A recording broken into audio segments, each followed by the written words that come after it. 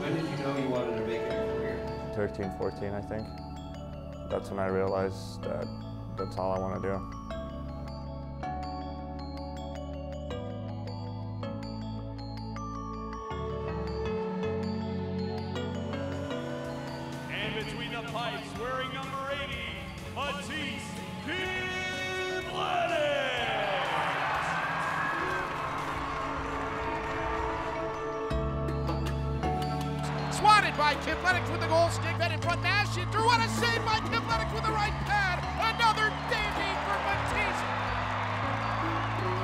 Kivlenieks again with a stop. you know, pinch yourself moment to make sure that it was real tonight? Um, you know, I was always going to dream to just win every one game. Kimmy, first career win, and you get the hat, bro. I honestly couldn't be couldn't done this without you guys. So thank you. I appreciate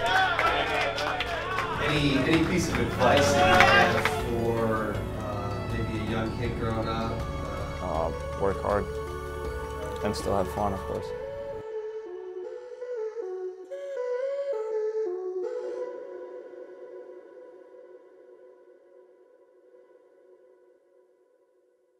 Welcome back, everyone, to Monsters OT, presented by University Hospital Sports Medicine here on Bally Sports Great Lakes.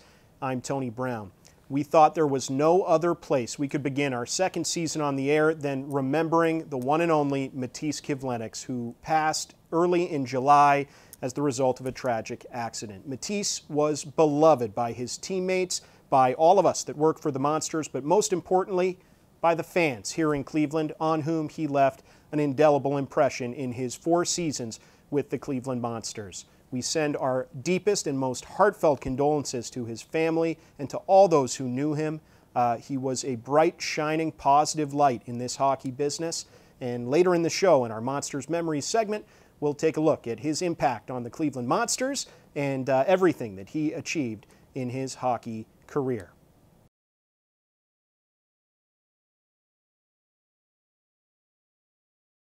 All that said, we are so excited to be back on the air here on Bally Sports Great Lakes for the second season of Monsters OT, and we have a lot of ground to cover on our debut episode. Coming up in our headline segment, we'll take a close look at the Monsters 2021-2022 regular season schedule that's been released, as well as the AHL's new playoff format, and we'll run down what players have been signed to AHL contracts to play for the Monsters next year. Also, later in the show, we'll take a look at uh, a pretty cool promotion coming up this year for the Monsters. Our old buddy Ryan Cookda is teaming up with a Cleveland culinary legend for a really, really cool event at the Monsters game on December the 4th. That, plus another look back at Matiss Kivlenieks's fabulous contributions to Cleveland hockey in our Monsters Memories segment. With all that coming up on the show, time to take a quick break. We'll be right back with more Monsters OT presented by University Hospital Sports Medicine only here on Bally Sports Great Lakes.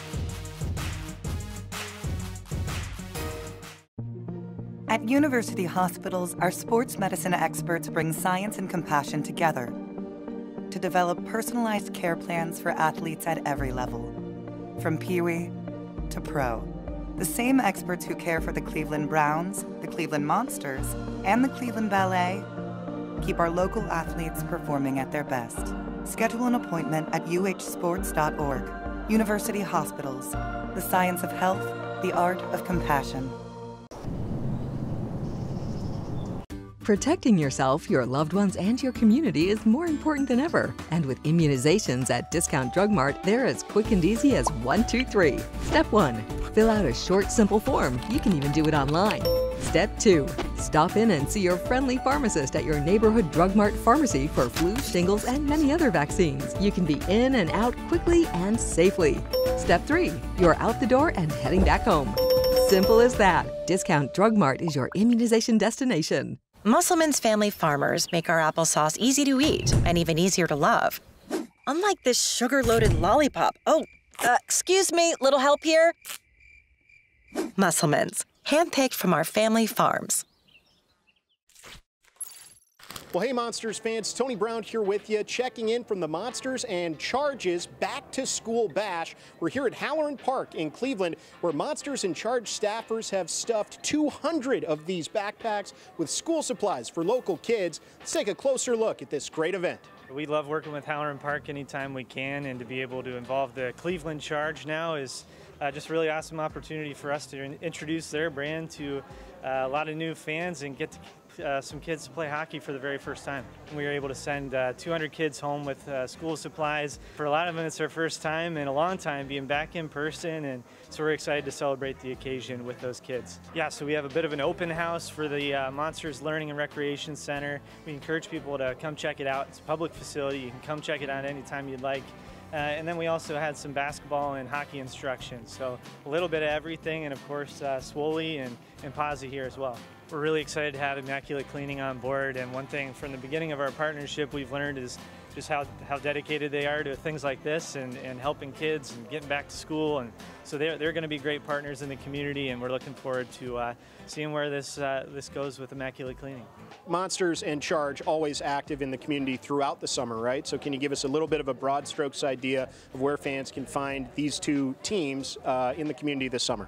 Follow us on social media. You can go to clevelandmonsters.com slash community. Uh, head to clevelandcharge.com and we'll be able to get you any information uh, so you can come out enjoy events like these. And uh, you know, we're active all summer. There's no off season for us. Well, another fantastic event today for the Monsters and Charge at the Back to School Bash here at Halloran Park. Huge thank yous to hand out, of course, to all the staff members who made this event what it was today, to all the kids who came out and enjoyed some really fun times here at a great facility, and of course, thanks to Halloran Park and our friends at Immaculate Cleaning for making today possible. If you want to learn more about how the Monsters and Charge are impacting their communities, visit us online at clevelandmonsters.com.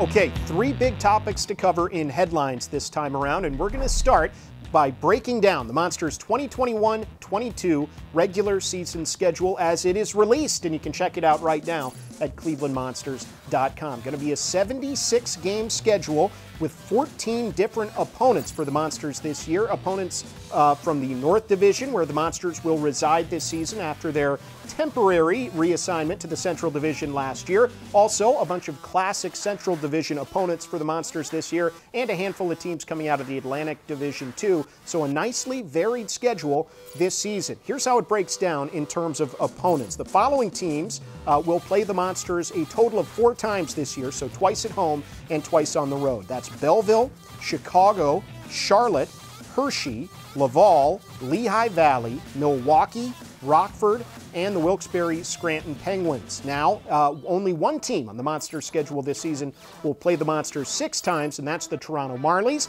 The following three teams, Grand Rapids, Syracuse, and Utica, will compete against the Monsters on eight different occasions, so four home games against each of those opponents for the Monsters this year. And finally, uh, the Monsters certainly going to get uh, a little bit of mileage under their tires heading to Rochester, New York this year. They will play the Amerks a grand total of 10 times this season, five times here in Cleveland and five times at Blue Cross Arena. So that is how the regular season schedule sort of lays out for the Monsters in the coming year.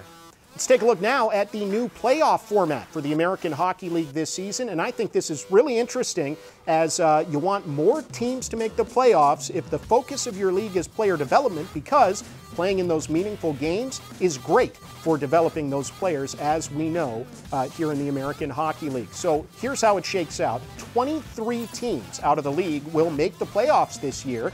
And uh, basically, out of each division, uh, the bottom two teams in the standings will not qualify for the playoffs. So the Monsters have seven teams in the North Division. That means that all but two of those seven teams, five of them, will qualify for the Calder Cup playoffs. And if you're in the top three in the North Division this year, you will get a first round bye. So a lot to play for and a lot of interesting uh, uh, sort of plates moving around to see who's going to slot in where come the start of the Calder Cup playoffs. The first round is the is a best of three series, I beg your pardon, leading into the second and third rounds of the playoffs, which are the division semifinals and division finals. Those are each best of five game series. Then you move on to seven game series in the conference finals, which will be uh, contended between each division champion in the Eastern Conference and Western Conference, respectively. And of course, the best of seven game Calder Cup Finals. So, five rounds in the playoffs this year and more teams getting in. I think it's great for the goal of the league, and that is developing these young hockey players. Finally, on headlines, we're going to take a look at which players are under contract for the Monsters this season. Now, we all know about the taxi squad, right? That was a big topic of discussion last year. Well, thankfully, that's not a thing anymore, and uh, the Monsters will certainly see tons of players that are on NHL contracts with the Blue Jackets wear a Monsters uniform this year. But right now, we're only going to talk about the players who are playing on AHL deals. We'll go by position and take a look at the forwards first. Seven forwards under contract with the Monsters as of right now for 21 22, including some familiar faces like Justin Scott, who is only a few games away from the Monsters' all time games played record. Also, Brett Gallant, a uh, fan favorite, certainly is back. Uh, some new faces, too. Cole Cassels has signed an AHL deal. Um, Tristan Mullen, Jake Gaudet, and Cole Fonstad are all players who saw a little bit of time for the Monsters last year towards the end of the year. And Adam Helewka, who was a very valuable utility piece for the Monsters last season, he will be back on an AHL contract for Cleveland this coming year. Let's take a look now at the defensemen under AHL contract for this coming season. Dillon Simpson, that is a huge, huge uh, player to have in the lineup for the Monsters. Thomas Schemitsch is back. He really endeared himself to Monster fans last year. Also, Olivier LeBlanc, Billy Sweezy, who played 20 plus games for Wilkes-Barre Scranton last year, but still is technically a rookie, uh, and Cole Clayton, another rookie, all signed to AHL deals for the Monsters. And in the goal crease, there is only one player that is under AHL contract, and that is Jet Greaves, who signed a two year American Hockey League agreement with the Monsters earlier in the offseason. He has been playing for the Barrie Colts of the OHL the last couple of years. So there you have it. Those are your AHL contracts for the Monsters, and that's it for headlines here on Monsters OT. We'll take a quick break, but we've got plenty more ahead, including our Monsters Memories segment and some details on a really cool promotion coming up later in this season for the Monsters. Stay tuned. It's Monsters OT. We're presented by University Hospital Sports Medicine. You can only find us here on Bally Sports Great Lakes.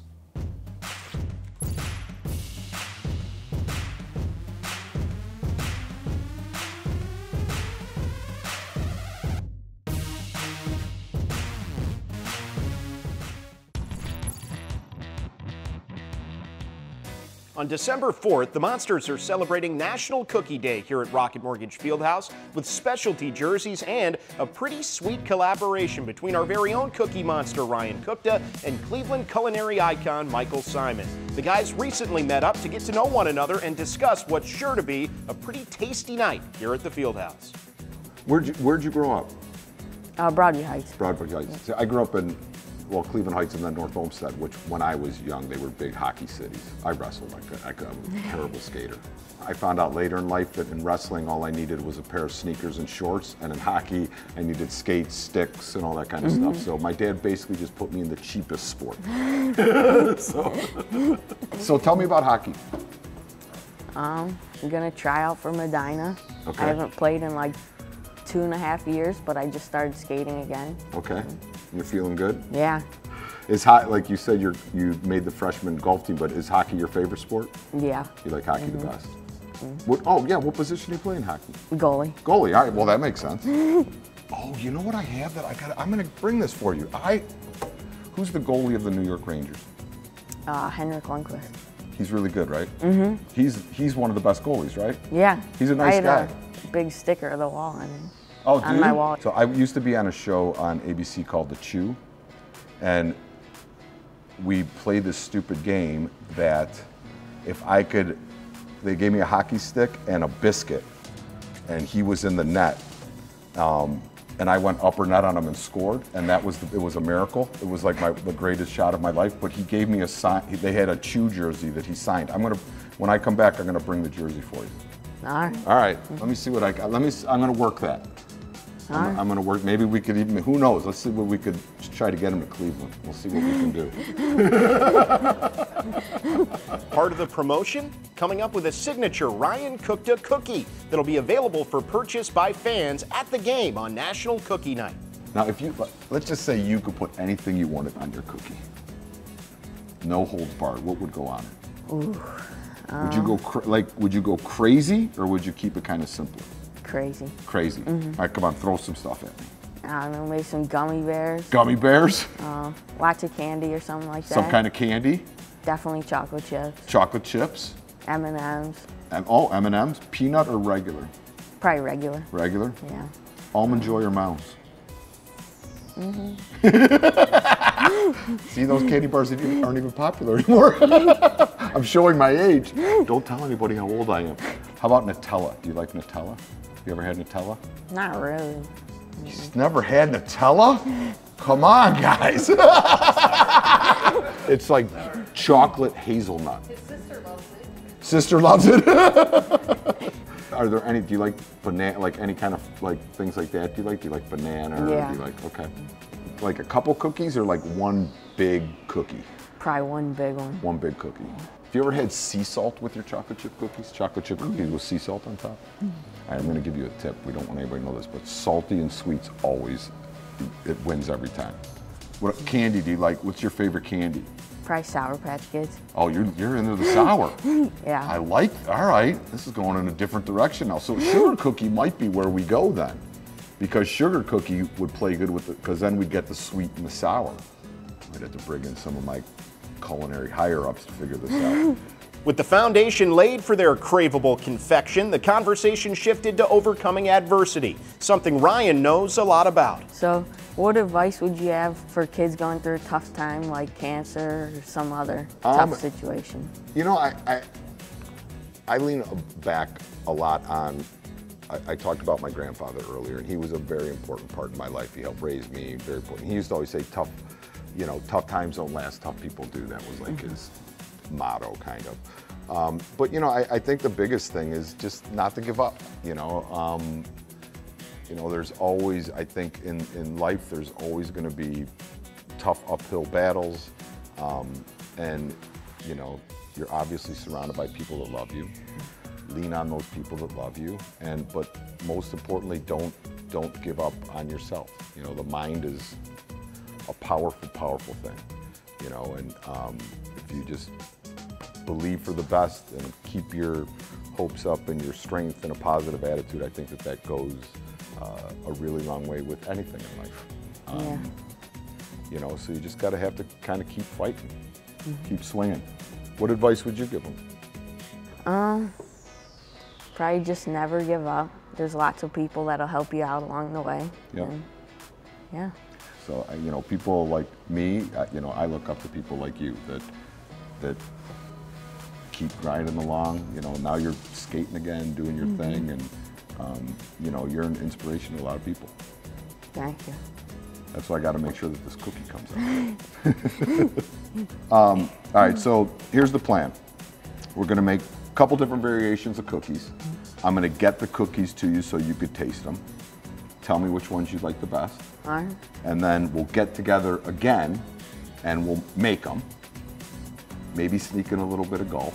All right. And then on December 4th, your cookie is going to make its debut at the Monsters game.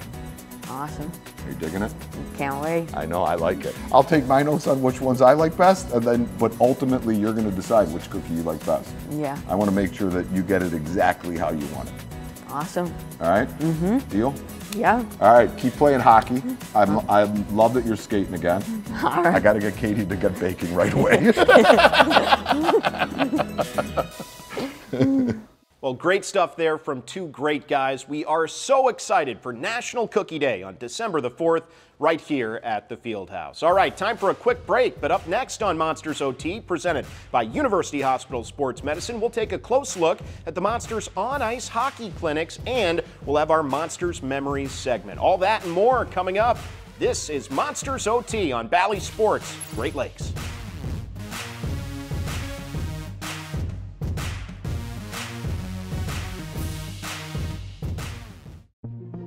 At university hospitals, our sports medicine experts bring science and compassion together to develop personalized care plans for athletes at every level, from Pee-wee to pro. The same experts who care for the Cleveland Browns, the Cleveland Monsters, and the Cleveland Ballet keep our local athletes performing at their best. Schedule an appointment at uhsports.org. University Hospitals, the science of health, the art of compassion.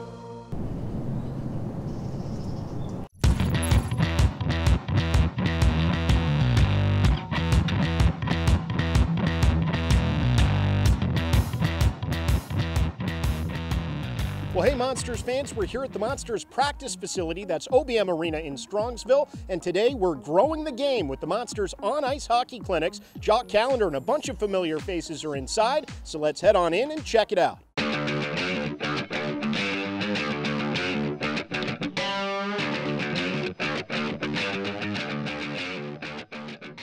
Oh, it's just it's just fun seeing kids get on the ice. Um, you know, these are young kids just starting to play hockey, and it brings you back to your memories. And for myself, having two kids part of the program, it's uh, you know, we, we look forward to it because it's just fun to interact with all the other kids. Yeah, it's great. I mean, they, they don't have to play hockey all year round, but it's getting close to uh, tryout time or, or start of their season, so it's good to get out there and have some fun and work on your skills a little bit. But uh, mo most importantly, I think having fun for these kids, especially at this age, uh, to enjoy the game and, and to hopefully learn to love it and improve at it as you go along. Your son was out today, right? Your daughter coming tomorrow. Um, just a way for them to stay sharp, sort of grow within the game? Yeah, well, they, they look forward to it, right? They see the monsters and they get to be a part of that. And they, and they know they go to the game, so they, they think they're on the team and they're trying out. So it's a, it's a lot of fun for them, meet the other kids. And, and you know, these are kids will be around for, for maybe years to come, too. So which foot are you going to use, guys? Which foot are you going to glide on? Right foot, right? Right foot. This one right here.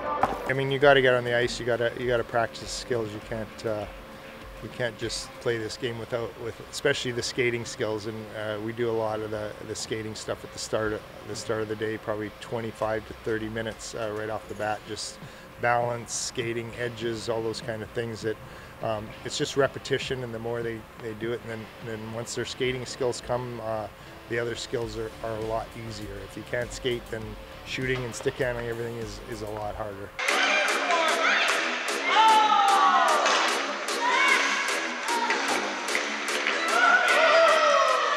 Just real quick, kind of cool to have uh, guys like Brad Teese and Nathan Gerbe out here too to help. Oh yeah, have have Nathan Gerbe uh, demonstrate instead of myself is much better.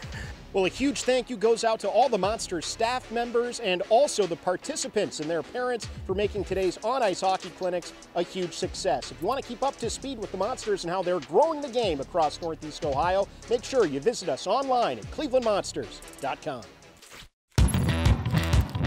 Welcome back to Monsters OT, everybody, presented by University Hospital Sports Medicine here on Bally Sports Great Lakes. We are almost done with our first episode of season two of Monsters OT, but it's time for Monsters Memories. And today we thought there is only one place to close the show, and that is right where we began it uh, remembering the great Matiss Kivlenieks. Gone too soon at the age of 24, he played 85 games for the Cleveland Monsters over the course of four seasons, and he is top 10 in Monsters franchise history statistically in just about every major goaltending stat category, including wins, games played, minutes played, saves, shutouts, you name it. He made a huge impact on the game of hockey and on the fans of this great sport here in Northeast Ohio let's remember uh, the journey that Matiss took to get to his uh, lifelong goal of playing in the National Hockey League.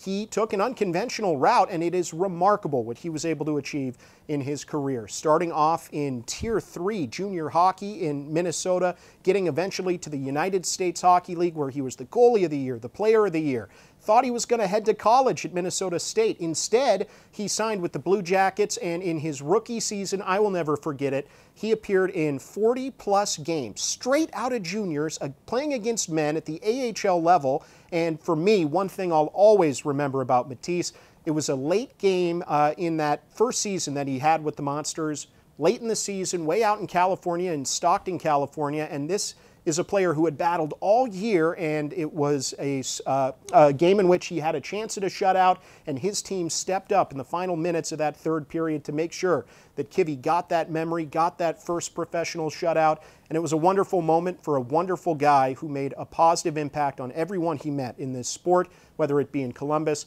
in Cleveland, or in any of the other places that he played. So, with Monsters Memories, we remember the great Matiss Kivlenieks. That's it for this week's show, Monsters OT, presented by University Hospital Sports Medicine. Big thank you to everybody out there for tuning in. We'll be back with more great Monsters hockey action throughout the year, so check your local listings here on Bally Sports Great Lakes.